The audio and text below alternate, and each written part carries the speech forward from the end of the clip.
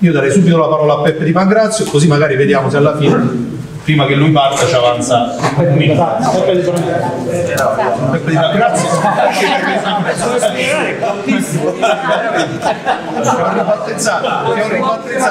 Ti ho ribattezzato, ti ho. Puoi parlare come Peppe Di Pangrazio? Parla. Adesso No. Si sente? Si sente? sì, sì. Tema microfono. Io non so come parla Peppe di Pancrazio, però come parla Peppe Provenzano e lo farò con eh, la chiarezza che di solito cerco di avere nelle cose, lo dico al presidente di Confindustria, se non è chiaro il governo, per lui proverò ad esserlo io, anche dicendo quello che penso davvero rispetto alle cose importanti che sono uscite qui stasera per le quali io voglio ringraziare Michele che ha organizzato l'incontro, l'amministrazione comunale che ci ospita, perché eh, le politiche di sviluppo non si fanno nella, dietro la scrivania di un ministero, non si fanno nemmeno con eh, la mente illuminata di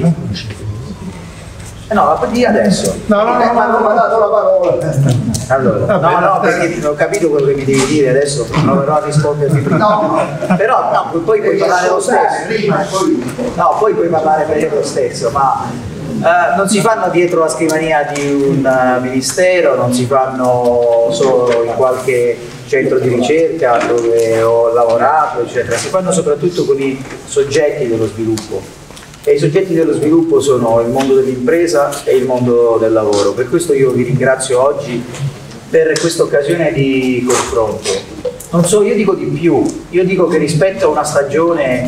che hanno chiamato di disintermediazione, che è la crisi della democrazia e la fine della politica, io penso che le politiche di sviluppo si costruiscano con il mondo dell'impresa e con il mondo del lavoro. E per parte mia però lo voglio dire ai sindacati regionali, io l'ho fatto perché abbiamo avuto numerose occasioni di incontro con i vertici nazionali proprio sui temi del mezzogiorno e anche con Confindustria, con le altre organizzazioni di categoria, per le, le quali proprio sui temi del mezzogiorno hanno raggiunto un grado di coesione molto importante. C'è un documento che hanno prodotto che per me è importantissimo e io ne riprendo molti aspetti. Il mio compito è quello di provare a colmare i divari, i divari territoriali. E i divari territoriali sono tanti ed noi parliamo di regione cerniera ed è una prospettiva bella, io stesso oggi sul giornale provo a dire, a spiegare il senso e l'opportunità. Ma una regione fa la cerniera se c'è una politica che si, che si pone l'obiettivo di ridurli questi divari. Se invece la politica, come in questi anni, purtroppo per tanti anni quei divari li allarga, la regione cerniera ci finisce in mezzo. E questo sta accadendo oggi in Italia. Non solo si è allargata la frattura storica tra nord e sud, ma accanto alla frattura storica tra nord e sud se ne accompagnano altre, una tra est e ovest, questa dorsale appenninica che si sta spopolando, che si sta impoverendo, che sta diventando sempre più un fossato che separa i due mari, Eh, la distanza tra centro e periferia, tra grandi città e campagne industrializzate, tra aree urbane, aree interne, aree montane. Questo è diciamo, il contorno dentro il quale si trova proprio l'Abruzzo. L'Abruzzo è in mezzo a questa a quest'Italia che è un po' divisa in croce tra questi divari. E poi c'è un altro tema essenziale dell'Abruzzo che ne fa il suo elemento di forza, ma anche in questo momento suo- la sua caratteristica nelle regioni del Mezzogiorno, che è la sua grande vocazione industriale. Ma la vocazione industriale, che è stata a lungo un elemento di forza, in questa stagione di crisi paradossalmente è diventato un elemento di difficoltà in una regione che ha dovuto affrontare situazioni di sofferenza sociale molto eh, importanti, in cui c'è un grado anche di... eh, cioè, è, è un po' paradossale tenere insieme l'alto grado di industrializzazione che ha l'Abruzzo rispetto alle regioni meridionali e anche rispetto ad alcune regioni meridionord del, del centro-nord e i tassi di spopolamento, di emigrazione giovanile che diciamo, eh, testimoniano il fatto che le occasioni di lavoro, anche qualificate, che dall'industria arrivano ai servizi avanzati, non sono sufficienti. Quindi questo è quello che dobbiamo mettere a fuoco. Io penso che queste non siano solo priorità per l'Abruzzo, proprio perché l'Abruzzo si trova in mezzo al cuore di questi problemi che sono problemi italiani, siano priorità eh, per l'Italia. E quando sto lavorando in queste ore, in questi giorni al piano per il Sud, dopo aver fatto alcune cose nella legge di bilancio di cui, di cui eh, vi dirò perché appunto non bisogna specialmente dal ministro, io ho fatto per una vita lo studioso, non bisogna fare le analisi, ma bisogna trovare le soluzioni e qualcuna è già in campo, altri stiamo lavorando in questi giorni. Questo piano sud deve essere un piano per l'Italia e vedete, lei diceva all'inizio il nord che non traina, eccetera. La verità è che nessuno più traina nessuno. Cioè noi o abbiamo la capacità di avere uno sviluppo equilibrato, di riattivare il motore interno dello sviluppo, che è quello che è mancato in questi anni, ho l'illusione di poter contare, anche qui in Abruzzo lo dico, su una piccola quota di imprese che esportano, che stanno sui mercati, che fanno registrare grandi performance, come dicevi tu all'inizio, è un'illusione e vale per, per l'Abruzzo, vale per l'Italia. Dobbiamo attivare il motore interno di questo e servono anche investimenti, servono investimenti pubblici che in questi anni sono crollati come leva indispensabile per l'attivazione degli investimenti privati. Gli investimenti privati ci sono stati spesso, ci sono stati nel quadro di un disinvestimento pubblico che dura da vent'anni. Oggi abbiamo il livello di investimenti pubblici più basso della storia ed è un miracolo che ancora ci sia la tenuta di un tessuto imprenditoriale che spesso l'ha fatto anche senza che il contesto lo favorisse. Uh, per questo nella legge di bilancio ho voluto affermare con forza un principio che non è solo di giustizia per me, che già comunque serve, eh, ma anche di efficienza economica, cioè che gli investimenti pubblici bisogna farli in, ma in, maniera proporzionale alla popolazione, quelli ordinari, in modo che poi le risorse che abbiamo, e eh, sono risorse europee, risorse di politica di coesione, possano essere aggiuntive, perché per se vuoi recuperare un divario ci devi mettere qualcosa in più, perché se non ci metti qualcosa in più, quel divario resta sempre al punto di prima. Però il problema non è solo, qui c'è un punto che lei sollevava che è decisivo, non è il problema solo di mettere le risorse in bilancio, perché poi bisogna spenderle queste risorse. E il problema dell'Italia è questo,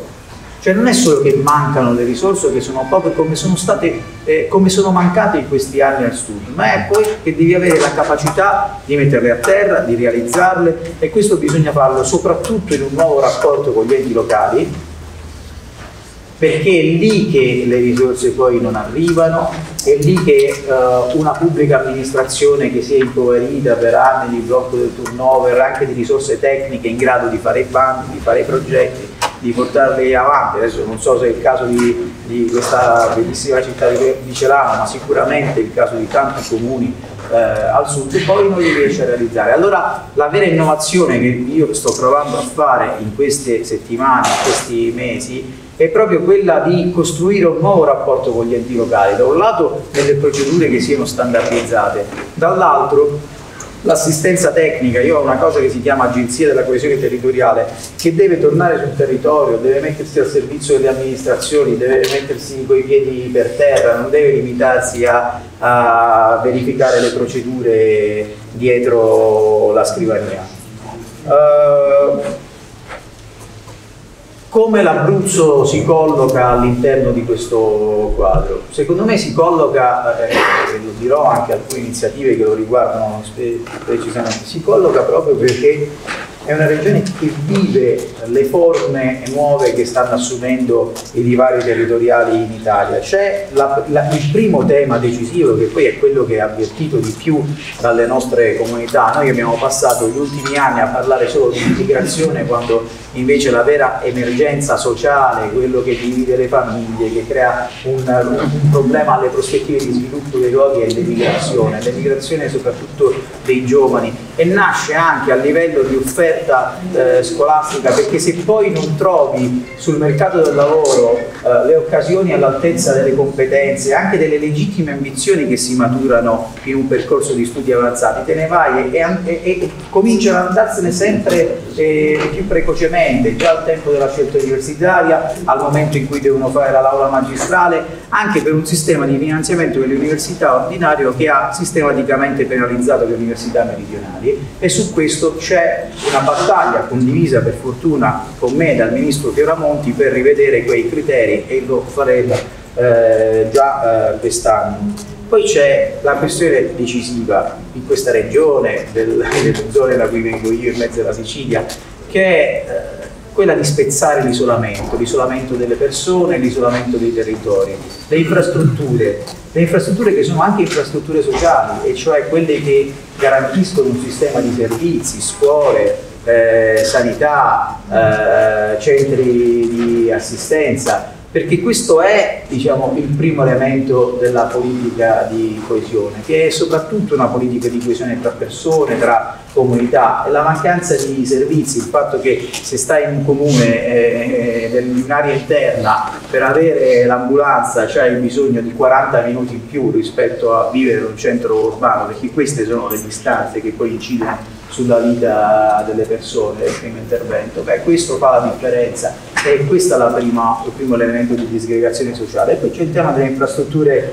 eh, ovviamente materiali, delle infrastrutture di trasporti, lì c'è un lavoro che sta facendo il ministro, la ministra De Micheli, che è quella di provare a sbloccare le opere, perché i finanziamenti sulle opere già ci sono, ma persino sull'asse ferroviario di cui parlavamo prima, eh, Pescara-Roma, ma lì è, sta nel contratto di programma di RFI con lo Stato. Il tema è velocizzarlo e questo vale per tutto, vale per tutti gli investimenti, ma vale soprattutto per gli investimenti infrastrutturali, perché l'unico investimento buono, questo lo sa chiunque fa impresa, è quello che fai nel tempo giusto. Se ogni volta continui a rimandarlo, il fattore tempo è decisivo, soprattutto è decisivo oggi che stiamo vivendo questa condizione di difficoltà, abbiamo bisogno di mettere impulso, di mettere benzina in questo motore che si deve accendere. C'è il tema delle strade e io dico soprattutto, guarda, io guardo soprattutto la viabilità secondaria. Noi abbiamo, questa è una regione che storicamente aveva fatto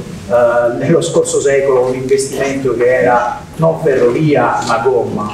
non ferro ma gomma e ha una dotazione infrastrutturale mediamente superiore alla media delle, delle, delle altre regioni meridionali. Ma questa è una regione che come le altre ci torno sull'autostrada però perché è un pezzo decisivo, come vive un problema enorme di viabilità secondaria, una viabilità secondaria che è stata abbandonata anche da una riforma frettolosa, a mio avviso forse eh, persino sbagliata nelle province che è stata fatta negli anni scorsi con uh, l'incapacità di raggiungere quella razionalizzazione che si voleva, perché quelli sono enti che svolgevano una funzione, parlavamo prima di scuole e, tanto più della viabilità secondaria, sulla quale un'opera di manutenzione straordinaria è quella che bisogna fare. Io sto, voglio, lo sto dicendo a tutti i ministeri, Uh, smetterla con quelle risorse che sono ferme lì e poi uh, servono per affrontare progetti europei, risorse nazionali che teniamo immobilizzate perché anche conviene a nessuno poi spenderle per, uh, per il problema di cassa noi dobbiamo riprogrammarle e riprogrammarle anche su questo, su un'opera di manutenzione straordinaria della nostra viabilità, anche eh, in accordo con l'ANAS che pure giustamente dice ma come lo facciamo, anche di riclassificazione di alcune dorsali che legano le, eh, le, eh, le direttrici nazionali, anche alcune strade statali. Questo è un tema secondo me decisivo, così come cioè la questione delle autostrade, noi qui stiamo parlando di trasversalità, la trasversalità si fa anche con e soprattutto con il collegamento, io però questo vorrei dirlo, non è stato scontato eh, mentre si parla di revisione delle concessioni, eccetera, di tutti i discorsi che sono di là da venire, anche diciamo, fare una battaglia per bloccare l'aumento delle tariffe, perché io lo so che non è abbastanza rispetto al costo che vive una popolazione che è tutti i giorni legata alla uh, città, all'area metropolitana di Roma, di attraversare diciamo, continuamente questa strada, ma già quello è stato un primo segnale da, di non continuare a pesare su chi lavora, su chi, eh, sul, sulle fasce medie della popolazione su cui ricade maggiormente questo tema. C'è anche lì però un problema enorme di manutenzione, anche quello è un tema di sbloccare, velocizzare. Su questo guardate è, è, mia, è il mio cruccio, io ho l'ansia non di fare delle buone programmazioni su quello sono convinto che le idee ce le abbiamo, ma il tema è di eh, mettere a terra oggi gli investimenti. Uh, la questione della trasversalità su cui voi vi siete caratterizzati è una questione decisiva. Se oggi guardate eh, la regione in Italia che è andata meglio in tutti questi anni, uno pensa a Milano, alla Lombardia, eccetera, no, la regione che è andata meglio è stata l'Emilia Romagna. È stata l'Emilia Romagna non solo, anche a mio avviso, per una buona amministrazione sicuramente regionale, ma è stata anche, eh, andata anche meglio perché proprio è una, è una, regione trasversale e sul tema della trasversalità ha fondato un modello di sviluppo, eccetera. quindi questo è un tema cruciale che riguarda come non mai non l'Abruzzo ma l'Italia in questo momento perché la uh, vicenda del corridoio uh, iberico-balcanico non è solo un tema dell'Abruzzo è un tema che riguarda l'Italia, in cui Civitavecchia, che è questo porto a cui voi guardate eh, con grande attenzione e importanza, può ritrovare un, ruolo, un, un, un, nuovo ruolo, una nuova funzione, un nuovo rilancio, non solo legandosi a Ottona, che è quello che vi interessa a voi, ma anche legandosi a Ravenna, passando eh,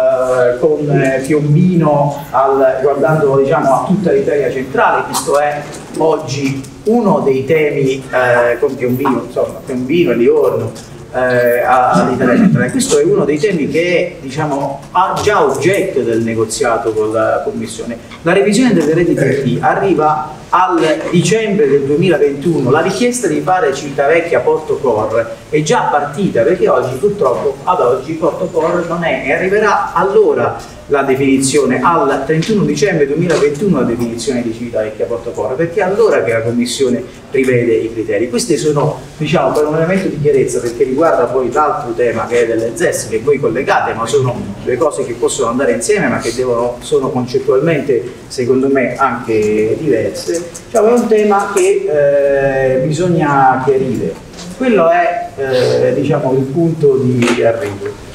Però questa regione, prima di parlare delle ZES, vorrei dire che ha una centralità su altre grandi questioni che sono al centro dell'agenda di governo. Giustamente voi sentite dire Green New Deal eh, e io stesso vi dico vabbè ma che cos'è questo Green, eh, questo Green New Deal? Eh, questo Green New Deal è il fatto che oltre ad essere la regione con il più alto tasso di industrializzazione, voi siete anche la regione con il maggior numero di parchi naturali, con un patrimonio di biodiversità enorme, che è un elemento di ricchezza che in questi anni purtroppo non è stato, secondo me, a mio avviso, non per responsabilità regionale, ma come paese non è stato al centro di un disegno di sviluppo. Non solo, perché un pezzo dell'impresa, un pezzo dell'industria, dell questo percorso va fatto già da solo, senza che ci fosse una politica che andava in quella direzione, ma noi siamo andati a vedere la Patria questa mattina, che ha fatto degli investimenti straordinari, è una delle poche realtà che produce brevetti in Italia, proprio sui temi del riciclo, dell'innovazione ambientale, eccetera. Per questo hai bisogno di una politica che faccia questo, che leghi per esempio, che dia una nuova centralità alla dimensione agroindustriale, che pure in questa realtà ha un suo, eh, ha un suo ruolo decisivo. Eh, lo dico perché eh, biodiversità è eh, eh, ambiente non è solo diciamo, l'ambientalismo diciamo, vecchio stile come ce lo ricordiamo. Oggi per esempio in primo luogo a proposito di infrastrutture un grandissimo investimento infrastrutturale perché cos'è il Green New Deal se non un'opera di riassetto del territorio che cos'è il Green New Deal se non l'idea di eh, fare un grande piano di prevenzione del rischio sismico, idrogeologico nei nostri territori? Anzi, una delle cose sulle quali sto lavorando, anche se non è di semplice fattibilità, è che nella nuova programmazione dei fondi europei che inizia dal 2021-2027, invece di fare piani operativi nazionali su tutto, facciamo un piano operativo nazionale sulla prevenzione del rischio nei territori, perché quello è quello che fin qui è, è mancato. Io lo dico guardando poi a, a, diciamo, quello che avete vissuto, eh, che io conosco anche per ragioni familiari, diciamo così, sulla, sul, sui temi della ricostruzione, peraltro in corso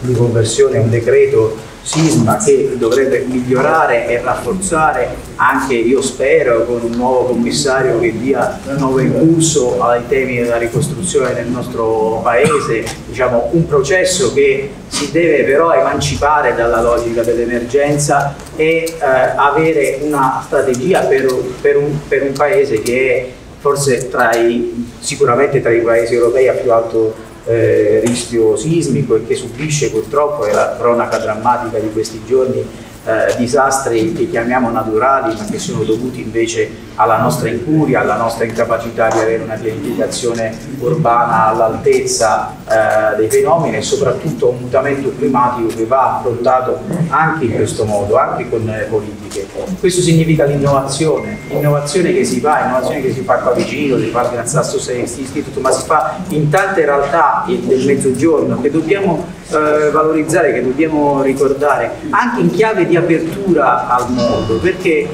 al mondo ci si apre anche così, ci si apre con politiche di innovazione che poi trasferiscono tecnologia non solo alle medie e grandi imprese che ce la fanno da sole, ma poi al tessuto di piccole e medie imprese che da solo invece purtroppo non ce la fa. E su questo io poi ti voglio dire qualcosa che già c'è nella legge di bilancio.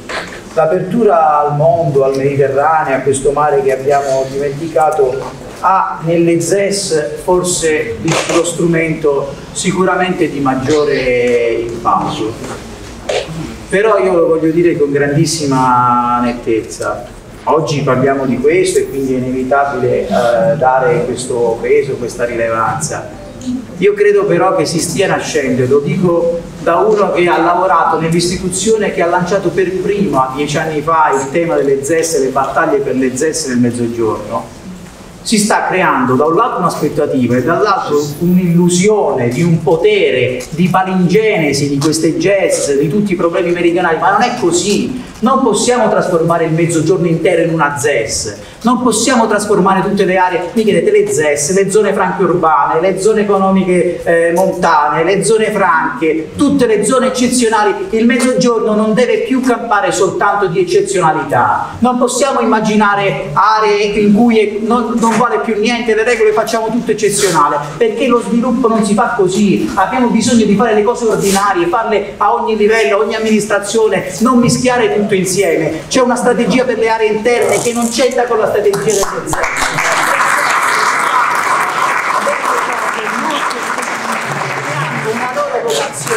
le ZES non servono a fare lo sviluppo territoriale, non sono in mano a un presidente di regione che dice adesso ci metto pure quel territorio, quell'altro comune, perché me no, ma mettimi pure nella ZES eccetera che ci posso andare un'impresa che gli faccio lo sconto fiscale, perché non è a questo che servono le zone economiche speciali. Le zone economiche speciali si sono costruite per legge e in una trattativa con la Commissione che ha voluto un porto core per le ZES come punto di riferimento della, della zona economica speciale proprio perché in quelle ZES e solo in alcuni porti bisognava fare un investimento, la capacità di attrarre dei grandi investimenti. Questa è stata la logica con cui noi abbiamo realizzato le ZES in Italia. Io non devo difendere niente del passato perché non le ho fatte io, ma spiego la logica. Invece queste ZES sono diventate, diciamoci la verità, anche un po' nella percezione e nel racconto che ne sta facendo anche questa sera, l'idea di fare politica territoriale. Non è così.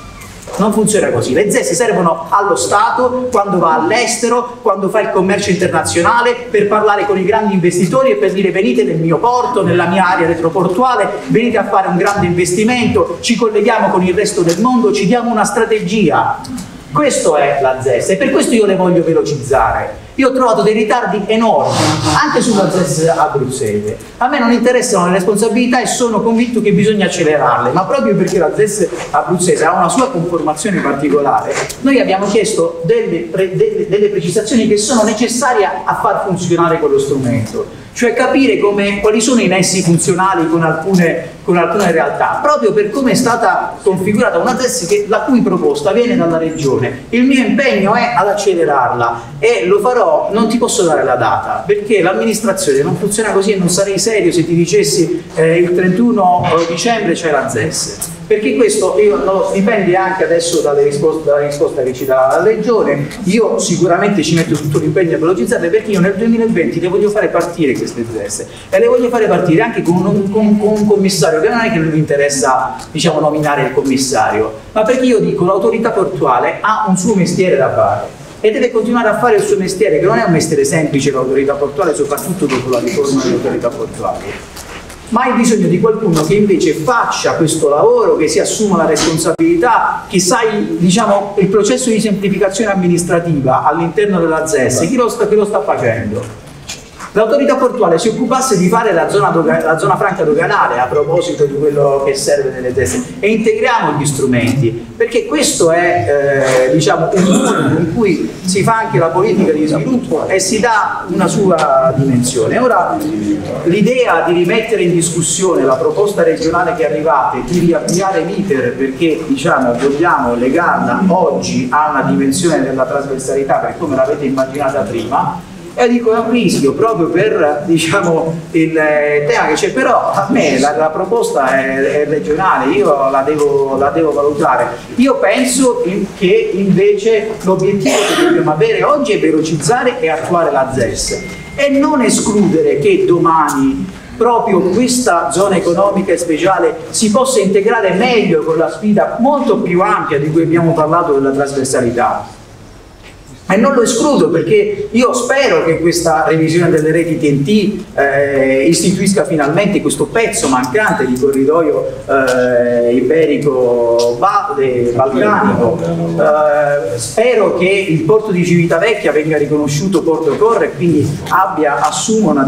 una importanza nella dimensione europea che non ci faccia diciamo, rifare tutta la procedura e spero che questo aiuti. Io tra l'altro non sono nemmeno contrario a che le zone economiche speciali si possono fare in alcune aree del centro-nord del centro come eh, Civitavecchia ma anche del centro-nord. Nei giorni scorsi eh, ho avviato eh, ho, ho, fatto un emendamento potesse fare una zona logistica semplificata nell'area del Polesine non solo per i drammi naturali ma perché quella è un'area di crisi complessa che ha bisogno di strumenti molto simili. Di certo l'unica cosa che non posso fare è come dico non possiamo fare del mezzogiorno intero un'area ZES perché si perderebbe il vantaggio dello strumento eh, non possiamo fare in tutti i porti italiani delle zone economiche speciali perché altrimenti diciamo, il ritardo di decenni di disinvestimento nei porti meridionali in particolare eh, non lo riusciremo a colmare. Ma comunque questo è solo un pezzo di una strategia perché già oggi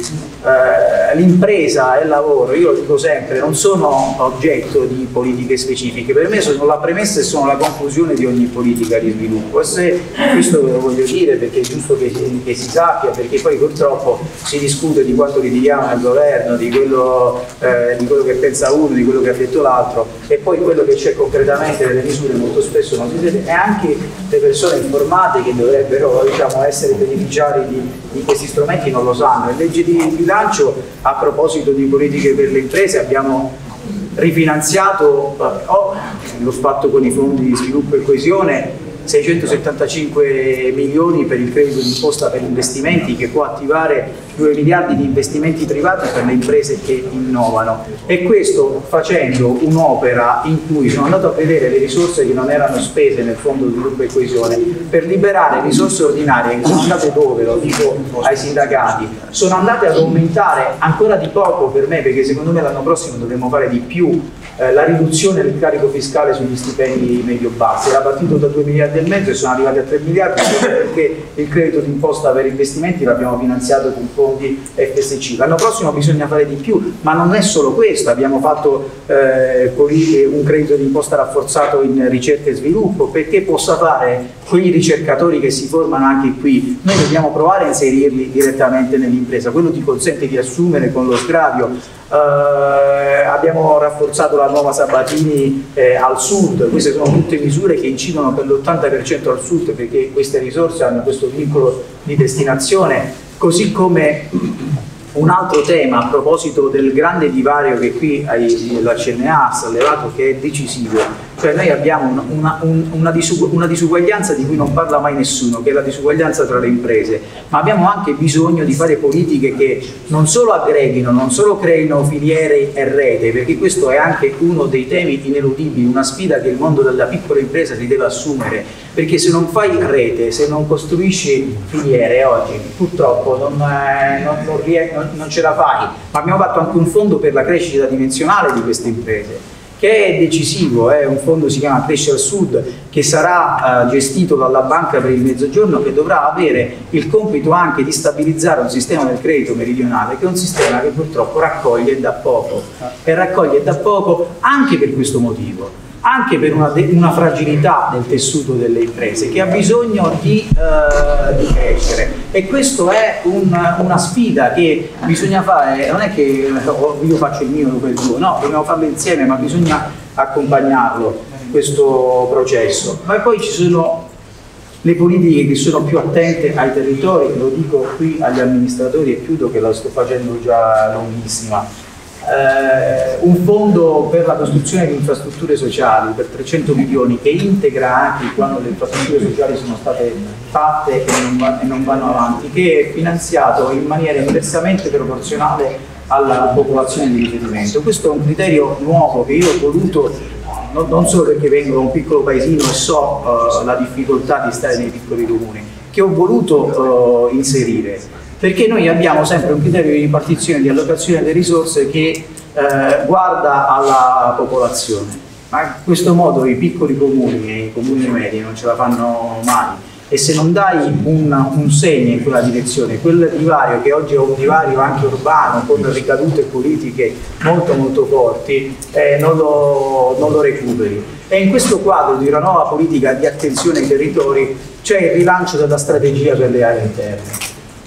in legge di bilancio abbiamo raddoppiato le risorse, che consente di inserire aree interne che erano rimaste escluse da quella che è stata una sperimentazione bellissima ma che è durata troppo a lungo e che deve diventare invece una politica immediata, una politica eh, che riguarda questi luoghi, una politica ordinaria in cui i luoghi si possano riconoscere, persino identificare, perché c'è anche un tema proprio come dire, l'identità di queste aree interne che va valorizzata e che va preservata e che non si può fare, ognuno lo fa da sé con la sua sagra, eccetera. Lo fai Innanzitutto migliorando la qualità della vita in quei luoghi e bisogna farlo con una strategia integrata perché devi decidere dove va il presso scolastico se no, in tutti i paesi non lo riesci a gestire e devi decidere invece dove i presidi sanitari possano arrivare più facilmente alla popolazione questo lo fai insieme. Noi ci mettiamo le risorse ma lo, lo, questa strategia lo costruisci insieme, costruisci insieme anche un sistema di servizi che deve essere identificato perché noi parliamo sempre solo delle reti di costruire, io figuratevi, sono d'accordissimo, cioè facciamo, ma a volte basta anche avere un servizio in più, un pullman che arriva, che passa da quella città, una corsa in più, un treno, una navetta che ti collega alla stazione ferroviaria, perché è così che si incide nella qualità delle aumentare persone. i pedaggi delle autostrade. Non aumentare i pedaggi delle autostrade, vi ho detto già abbiamo, eh, ci siamo battuti per eh, bloccare l'aumento delle tariffe, ma è una, una battaglia che veniva da da, da questi territori. Io lo dico questo perché,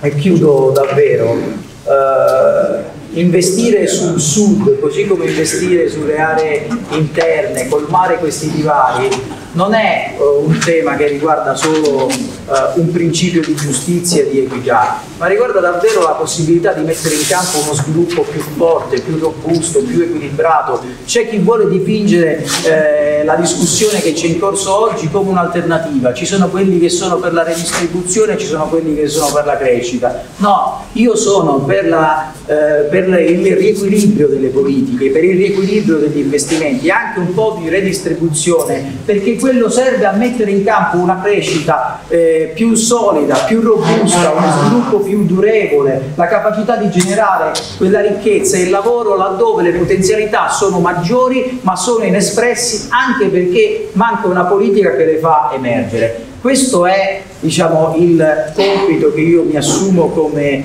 eh, Ministro per il Sud e la coesione territoriale, ma che è anche un po' il filo conduttore della politica del governo che con timidezza cerca di invertire eh, la rotta. È ancora poco, io lo so, però penso che abbiamo fatto bene a disinnescare un'IVA che eh, incideva per 540 euro eh, sulle famiglie, altro che aumentare le tasse questo è, eh, abbiamo evitato quell'aumento delle tasse che fino all'estate nessuno diceva sarebbe stato possibile. Detto questo, eh, le politiche di sviluppo non si fanno a, lo dicevo all'inizio, non,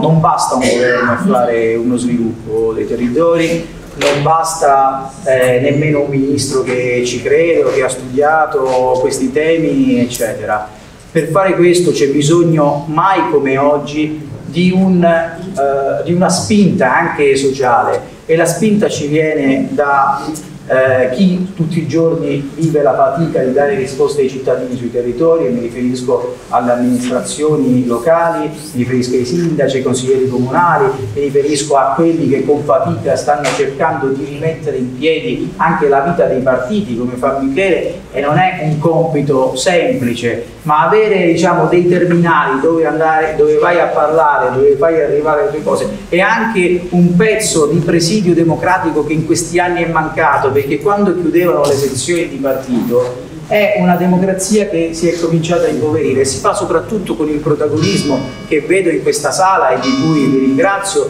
delle forze sociali, del mondo dell'impresa e del mondo del lavoro che mai come oggi sui temi dello sviluppo, sui temi del mezzogiorno hanno un interesse comune e una volontà comune che è compito e dovere della politica provare a, a raccogliere eh,